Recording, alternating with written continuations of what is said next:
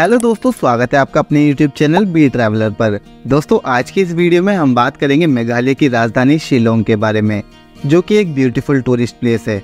इस वीडियो में हम आपको बताएँगे कि आप शिलोंग कैसे जाएँ, शिलोंग में ठहरने और खाने पीने की क्या व्यवस्था रहेगी शिलोंग में कौन कौन से प्लेसेस पर आप घूमने के लिए जा सकते हैं एंड शिलोंग में घूमने आने का बेस्ट टाइम कौन सा रहेगा।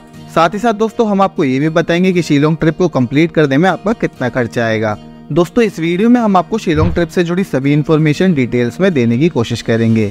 इसलिए वीडियो को बिना स्किप किए एंड तक देखिएगा। चलिए दोस्तों, देर न करते हुए शुरू करते हैं।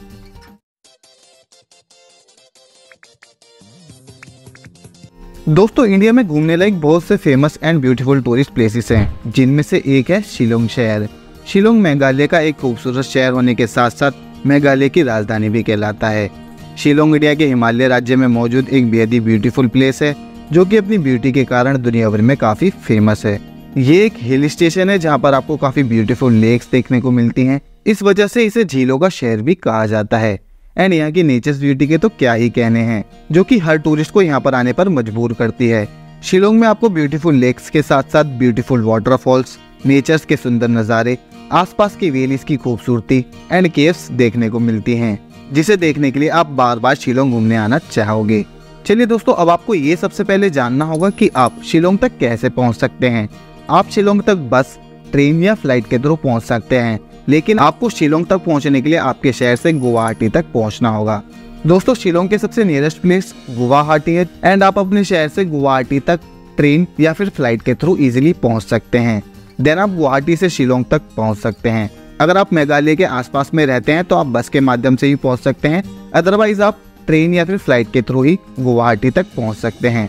जैसे कि मैंने आपको पहले बताया कि गुवाहाटी फ़्लाइट एंड ट्रेन के माध्यम से भारत के सभी बड़े शहरों से वेल कनेक्टेड है। इसलिए आपको अपने शहर से पहले गुवाहाटी तक पहुँचना होगा। गुवाहाटी से शिलोंग की दूरी लगभग 100 किलोमीटर की रहती है। अगर आप गुवाहाटी तक फ़्लाइट के थ्रू पहुँचना चाहते हैं तो आपको गुवाहाटी एयरपोर्ट तक बाई फ़्लाइट आना होगा। एंड गुवाहाटी एयरपोर्ट फ़्लाइट के माध्यम से भारत के सभी बड़े शहरों से वेल कनेक्टेड है, जैसे कि आपको कोलकाता या फिर दिल्ली से डायरेक्ट फ़्लाइट की गुवाहाटी तक के लिए सुविधा मिल जाती है।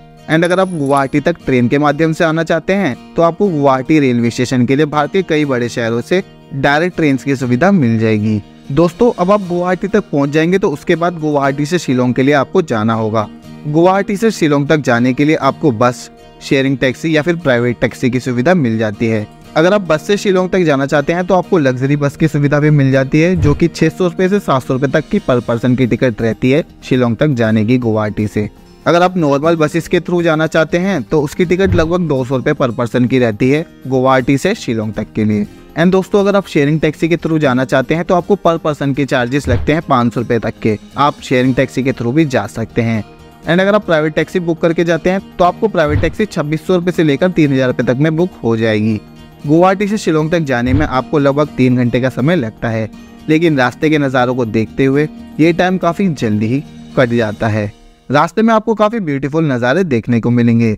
दोस्तों, अब आप शिलोंग तक पहुँच जाएँगे। तो अब बात करते हैं कि शिलोंग में ठहरने और खाने पीने की क्या व्यवस्था रहेगी। शिलोंग में ठहरने के लिए आपको पुलिस बाज़ार के आसपास में होटल्स देखने को मिल जाएँगे। पुलिस बाज़ार को सिटी सेंटर के नाम से भी जाना जाता है।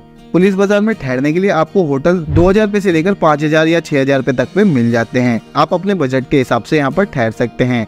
एंड अगर आप थोड़ा कम बजट में ठहरना चाहते हैं तो आप पुलिस बाज़ार से एक से डेढ़ किलोमीटर के आसपास में ठहर सकते हैं। एंड वहाँ पर आपको होटल थोड़े कम प्राइस में मिल जाते हैं।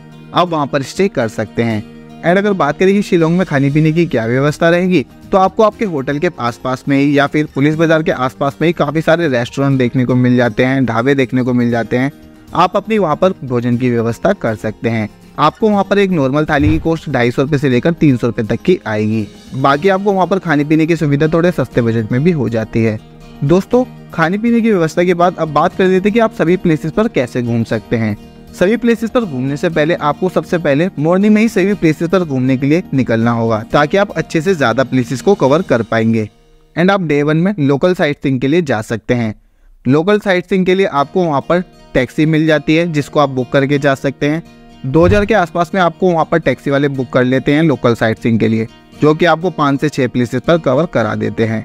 या फिर आपके पास एक और ऑप्शन रहता है, वहाँ पर आप स्कूटी या फिर बाइक रेंट पर लेकर जा सकते हैं, जिसके प्राइस कुछ इस तरह से होते हैं। एंड इसमें आपका पेट्रोल के चार्जेस इंक्लूड नहीं होते हैं तो पेट्रोल आपको अलग से ही लेना पड़ता है। एंड आपके पास लाइसेंस ज़रूर होना चाहिए। अब आप टैक्सी बुक कर लीजिए या फिर स्कूटी या फिर बाइक रेंट पर ले लीजिए और अब बात करते हैं कि आप डे वन में सबसे पहले कहाँ पर घूमने के लिए जा सकते हैं। आप सबसे पहले शिलोंग व्यू पॉइंट देखने के लिए जा सकते हैं, जिसे शिलोंग पीक के नाम से भी जाना जाता है। शिलोंग पीक की एंट्री टिकट तीस रूपए पर पर्सन की रहती है एंड इसकी टाइमिंग सुबह नौ बजे से दोपहर साढ़े तीन बजे तक रहती है एंड वेडनेसडे को ये क्लोज रहता है। शिलोंग पीक से आपको शिलोंग शहर का एक बेहद ही खूबसूरत नज़ारा देखने को मिलता है। एंड यहाँ का वेदर भी इसकी खूबसूरती में चार चाँद लगा देता है। यहाँ पर आप यहाँ के खूबसूरत नज़ारों को देख सकते हैं, काफ़ी अच्छा लगेगा। आप यहाँ पर आएँगे और यहाँ के आसपास के व्यू को देखेंगे तो। एंड अगर आप यहाँ पर फ़ोटो शूट भी करना चाहते हैं तो आप यहाँ पर यहाँ की ट्रेडिशनल ड्रेस में फ़ोटो शूट करवा सकते हैं, जिसके चार्जेस पचास रुपये पर पर्सन के रहते हैं। दोस्तों, यहाँ पर घूमने के बाद आप लेडी हैड्री पार्क के लिए जा सकते हैं, जो कि एक ब्यूटीफुल पार्क है। इसकी एंट्री टिकट दस रुपये पर पर्सन की रहती है एंड इसकी टाइमिंग सुबह नौ बजे से शाम पाँच बजे तक की रहती है। एंड ये पार्क वीक के सेवन डेज़ ओपन रहता है। लेडी हैड्री पार्क शिलोंग आने वाले टूरिस्ट की लिस्ट में ज़रूर शामिल होता है बिकॉज़ ये पार्क है ही इतना ब्यूटीफुल कि शिलोंग के सबसे ब्यूटीफुल टूरिस्ट अट्रैक्शंस में इसे गिना जाता है। इस पार्क को एक मिनी जू के नाम से भी जाना जाता है।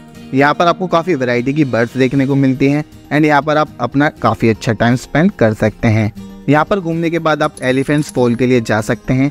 ये भी शिलोंग का एक ब्यूटीफुल टूरिस्ट अट्रैक्शन है। दोस्तों, ये फॉल्स काफ़ी ब्यूटीफुल लगता है। एंड एंट्री टिकट इसकी बीस रूपए पर पर्सन की रहती है। एंड इसकी टाइमिंग सुबह दस बजे से शाम छह बजे तक रहती है। ये वाटरफॉल पूरे मेघालय ट्रिप के सबसे पॉपुलर वाटरफॉल्स में से एक माना जाता है। इसके आसपास के नज़ारे भी आपको काफ़ी ब्यूटीफुल लगेंगे। एंड यहाँ पर आकर आपको काफ़ी अच्छा फील होगा।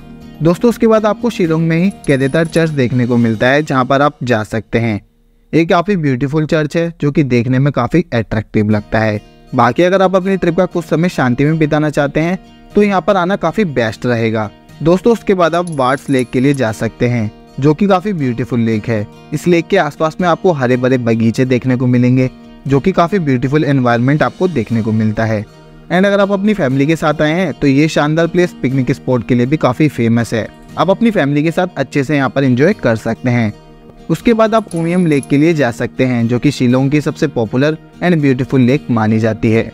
एंड शिलोंग आने वाला हर टूरिस्ट यहाँ पर ज़रूर आता है। एंड यहाँ से आपको काफ़ी ब्यूटीफुल नज़ारे देखने को मिलते हैं। फैमिली के साथ आने के लिए ये प्लेस भी काफ़ी बेस्ट रहेगा।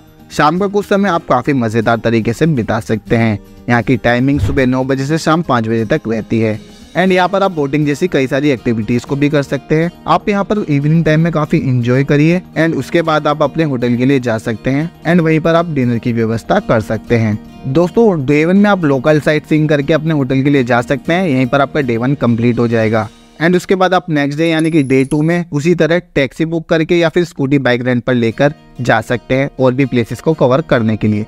अब डे टू में आप सबसे पहले डोकी रिवर के लिए जा सकते हैं, जो कि बांग्लादेश बॉर्डर के पास में ही सिचुएटेड है। ये काफ़ी ब्यूटीफुल रिवर है, जो कि एकदम ब्यूटीफुल लगती है। यहाँ का पानी एकदम शीशे की तरह साफ़ दिखता है, जिसे आपने कई सारी इंस्टाग्राम रील्स में भी देखा होगा।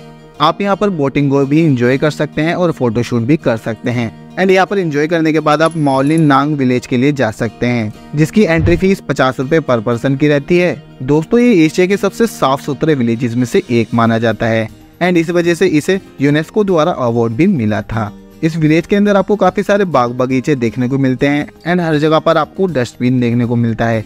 ये काफ़ी क्लीनेस्ट विलेज माना जाता है और यहाँ पर काफ़ी कम पॉपुलेशन है। कम से कम 80 से 100 घर होंगे यहाँ पर पूरे विलेज में, जिसे देखने के बाद आपको काफ़ी अच्छा लगेगा। यहाँ पर आप अपना काफ़ी अच्छा टाइम स्पेंड कर सकते हैं। दोस्तों, यहाँ पर टाइम स्पेंड करने के बाद आप लेविंग रोड ब्रिज के लिए जा सकते हैं। जहाँ पर आपको पेड़ों की जड़ों का पुल देखने को मिलता है, जो कि 100 साल से भी पुराना माना जाता है।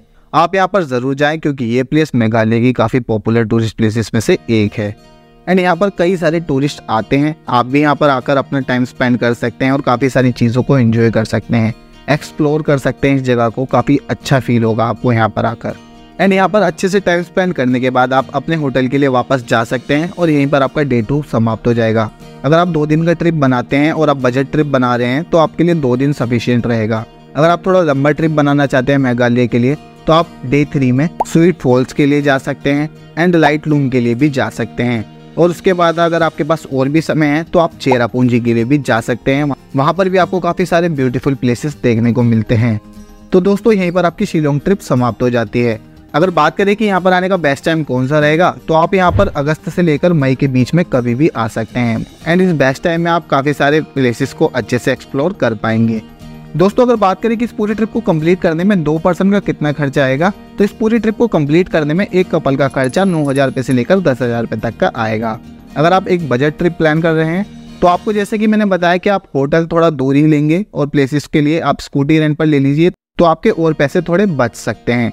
तो दोस्तों, आज की वीडियो में बस इतना ही। आई होप मेरी इस वीडियो से आपको शिलोंग ट्रिप की पूरी इन्फॉर्मेशन मिली होगी। अगर फिर भी कोई क्वेश्चन मुझसे छूट गया है तो आप हमें कमेंट करके पूछ सकते हैं, या फिर आप हमें फेसबुक या इंस्टाग्राम पर मैसेज करके भी पूछ सकते हैं। हम वहाँ पर भी आपको इसी तरह की जानकारियाँ देते रहते हैं। आई होप आपको मेरी ये वीडियो पसंद आई हो। अगर आपको मेरी ये वीडियो पसंद आई है तो वीडियो को लाइक करें और अपने दोस्तों और परिवार के साथ वीडियो को ज़्यादा से ज़्यादा शेयर करें।